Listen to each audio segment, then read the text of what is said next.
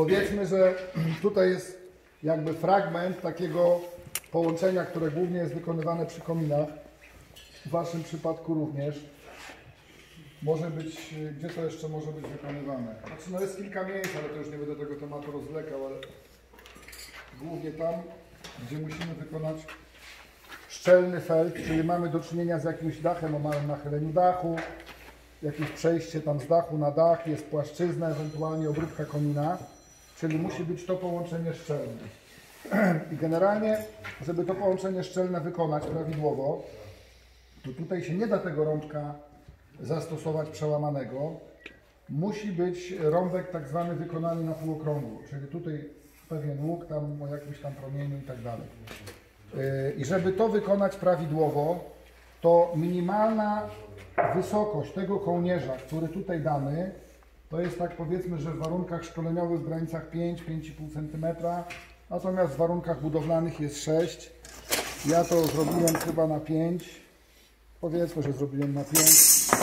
Może się będę męczył z tym, ale to jest taki, jakby jak się na modelu robi, jesteśmy w stanie z tego wybrnąć. No i teraz tak, żeby taką blachę przygotować, wysokość tego kołnierza tutaj bocznego, czyli tak zwanego pasa przymurowego, czy kołnierza komina, w sytuacji, kiedy ten, ta, ta bryła gdzieś tam jeszcze bardziej do góry idzie, to w naszych warunkach klimatycznych to jest minimalnie 15 cm plus ten felt przeciwwodny.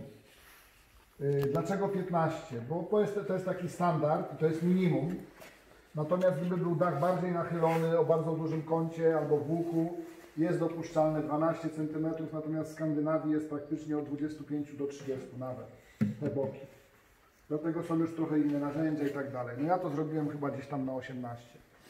Czyli generalnie mierzę tą blachę ile potrzebuję tu, mierzę tą blachę ile potrzebuję tu, dodaję po bokach po 5 cm, tu dodaję jeszcze na ten felt przeciwwodny, tu na dole jeszcze na jakiś felt. No i powiedzmy, że yy, uzyskałem taką blachę. Oczywiście na wyrysowanie tego kąta tutaj gięcia też jest pewna teoria, można wykonać szablon, ale znowu powiedzmy, jak ja mam jednorazową tą blachę y, robić i nie chcę się z jakimiś tam szablonami bawić, to ponownie wkładam tu dach cęgi, zobaczcie, wkładam dach cęgi, tylko tak, ja wiem, że te dach cęgi, gdybym prawidłowo zagiął, y, dajcie mi jeszcze tego łówka kawałek na chwilę, znowu, bo ja to akurat nie dostałem na szkoleniu, Y, gdybym, ja wiem, że gdybym miał zagiąć to tymi dachcęgami, to tu mi wychodzi kąt 40 stopni.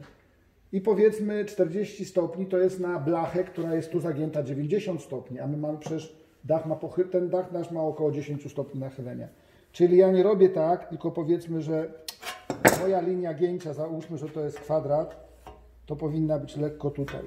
Czyli ja już powiedzmy, trochę mając tego doświadczenia, biorę sobie dach cęgi tu, zaginam sobie troszkę tak, po czym wkładam te dach cęgi tu i zaginam jeszcze tak. I to, co chciałem zrobić. Tą blaszkę kładę, tą blaszkę zaginam do góry i cała blacha jest gotowa. No i teraz ją powiedzmy, że przykręcamy do komina.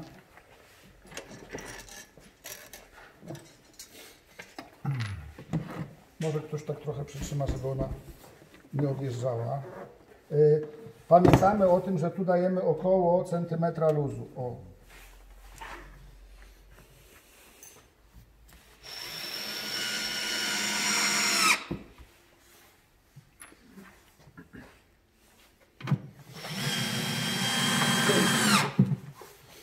Wyście to samo robili teraz przy tym kominie do, do dachów. No i teraz podobna sytuacja. No robię tu korektę jakąś.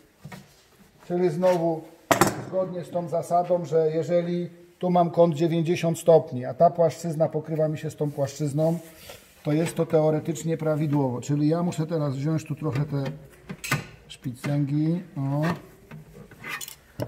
skorygować to.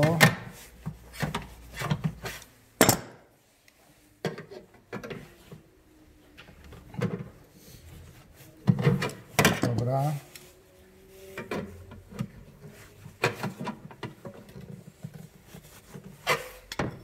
już nie ma żadnych naprężeń.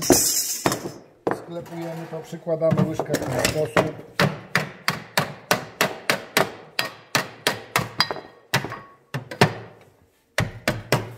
I ścianka mamy wykonaną. Teraz yy, jaki to będzie rąbek? Otwarty czy zamykający? Dajcie jeszcze tego łupka, cały czas, a nie mam rąbek. Jaki tu będzie na tym rąbek? To będzie otwarty. Ile ma rąbek otwarty wysokości? 3,5. Biorę tą linijkę, ponieważ ja nie wiem, z której strony będę obcinał. To biorę tą linijkę i tą linijką sobie rysuję.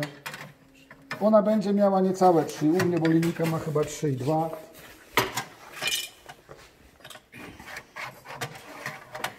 O, tą linijką sobie rysuję linię wycięcia. Następnie biorę sobie nożyce. Jakie najlepiej wziąć nożyce? Tą stronę nożycami nie utniemy, bo zobaczcie, nożyce dochodzą do zakrętu i napotykają na komin. Musimy wziąć nożyce, które będą cięły tu poza kominem. No i po prostu zaczynamy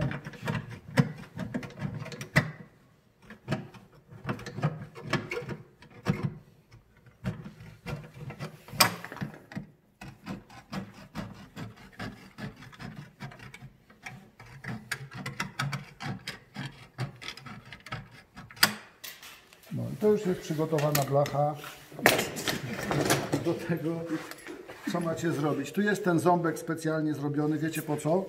Tak, bo Że jak zagniemy blachę teraz na pierwszy raz i ona nam się po krawędzi skończy, yy, po krawędzi nam się skończy powiedzmy mm, tu, o, to potem w tym miejscu jeszcze zaginamy na drugi raz i wtedy nie mamy tu żadnego zgrubienia. Praktycznie jak będziecie palcem potem przejeżdżać, to się okaże, że jest ta sama grubość tego felcu wszędzie i to jest łatwiej i przyjemniej. No i teraz robimy? Przykładamy drugą blachę. I teraz tak, jeżeli by się okazało, że ta blacha jest nieduża, a my jesteśmy jeszcze jacyś tacy niewyszkoleni, to możemy tu odrysować, odłożyć blachę i na przykład uciąć ją o te 8 mm więcej. Ale jeżeli jest blacha duża i na przykład któryś tam z kolegów już dalej chce coś tam robić, przytrzymajcie trochę. Nam nie musi być tak precyzyjnie, no może być tam pół centymetra przerwy, jak tam komu pasuje.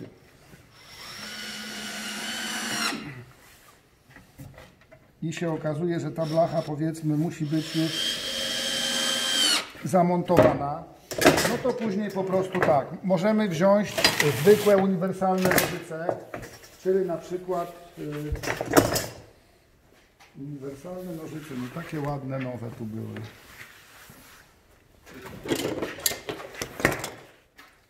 Zobaczcie, możemy wziąć uniwersalne nożyce i tymi nożycami z grubsza uciąć. O, czyli na przykład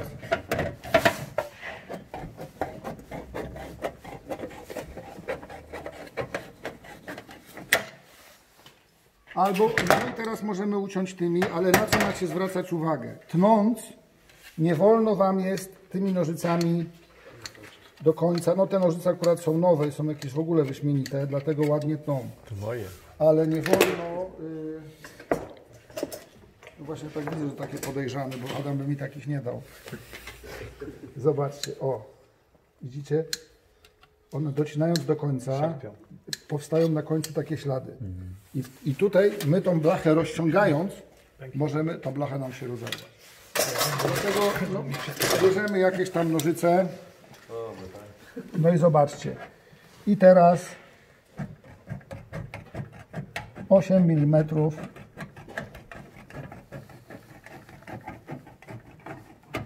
Ja celowo utnę raz lepiej, raz wyżej, tak jakbym to robił naprawdę powiedzmy, że na dachu. No i powiedzmy, że uważam, że tak jest ok.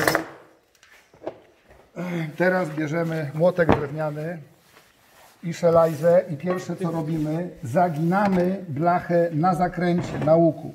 Ale nie uderzamy całym młotkiem. Znaczy ja robię drewniakiem, ale wy możecie plastikiem, bo chodzi o to, że mamy uderzać kantem. Zobaczcie, że te młotki mają cały czas kanty zniszczone, bo polega to na tym. O. Zauważcie, że tu jest centymetr, tu jest nawet więcej jak centymetr. Zobaczcie, ja to celowo tak zrobiłem. Zaraz wam powiem dlaczego.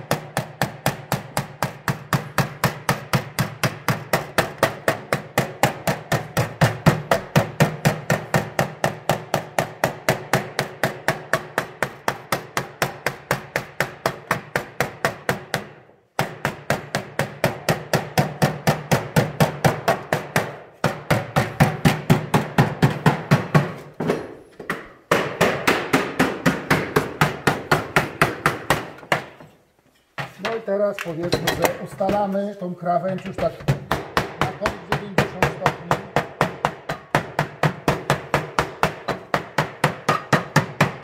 No zobaczcie, to jest nieprecyzyjnie ucięte. Gdybym ja teraz to zawinął na drugi raz, to ile tego felca mi tu zostało, tyle mi się zagnie na drugi raz. I by się okazało, że gdybym to dociągnął dotąd i potem chciał jeszcze zawinąć na drugi raz, to tego felca w ogóle by nie było. Czyli należy to wyciąć precyzyjnie. A druga sprawa, jeżeli Wam się nie uda tego za pierwszym razem, to trzeba teraz zrobić korektę. I ta korekta, dlatego jak mi ktoś mówił tutaj, że można zagiąć centymetr czy tam ile, ja powiedziałem, że można zagiąć nawet i 6 mm. Tylko, że 6 mm będzie Wam ciężko zagiąć, ale jeżeli ja już to zagiąłem, to jestem w stanie teraz tak ładnie obciąć, że te 6 mm by mi się bez problemu zrobiło. Ale ja na przykład teraz upnę to na 8. No te nożyce akurat lipnę.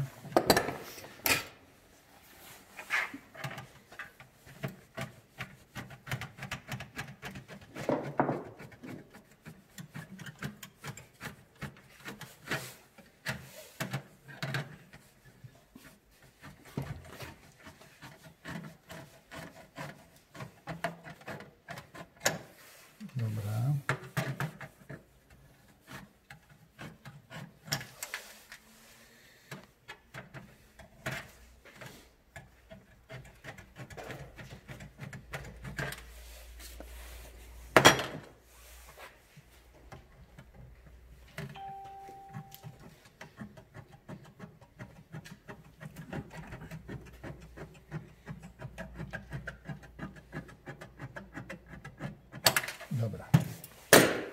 No i teraz powiedzmy, że zaginamy to na drugi raz. Tu się coś takiego dzieje, co się jeszcze jednemu koledze zdarzyło dzisiaj. Znaczy jakbym to ścisnął, bo ja tych blach nie zbiłem, gdybym ja to ścisnął, to nie musiałbym odcinać, ale nie liczcie na to, że jak Wam zacznie się tak coś podwijać, to Wam się to uda zagiąć.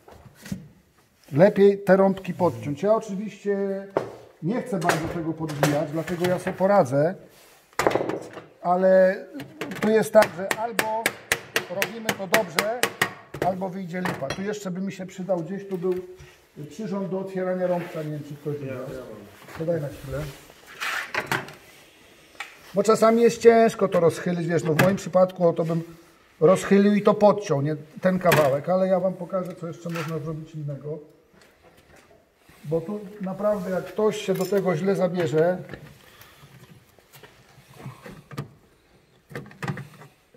o i teraz na pewno jestem przekonany, że to mi się tam podwinęło. Przekładam blachę. No i się nie podwinęło.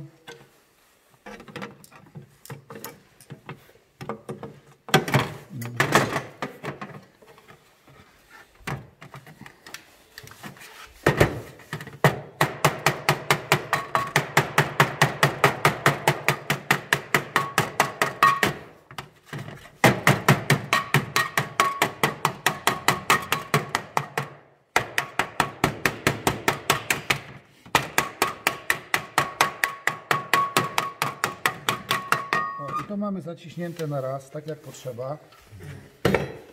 I teraz bierzemy młotek i jedziemy na drugi raz.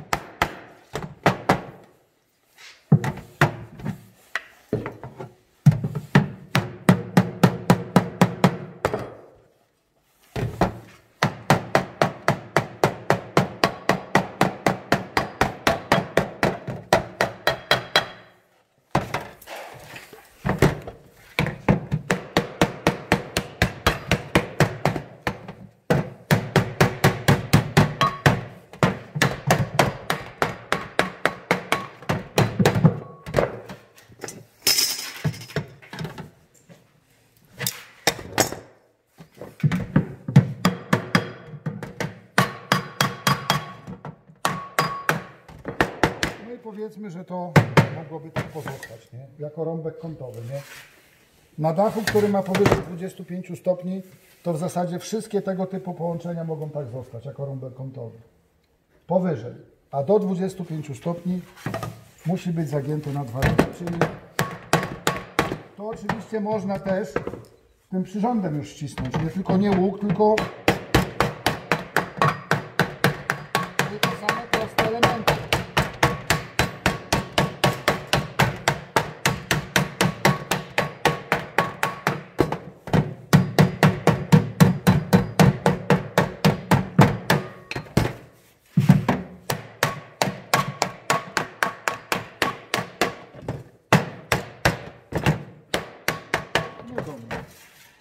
i potem jakby tu miała być obróbka na komin, to po prostu to kładziemy.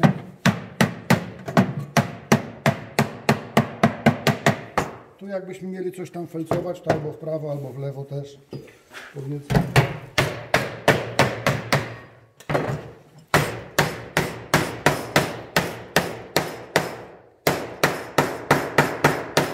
Koniec i cała robota. No i tak powinniśmy chyba zacząć pierwszą lekcję. To nie byłoby szkolenie z obróbek.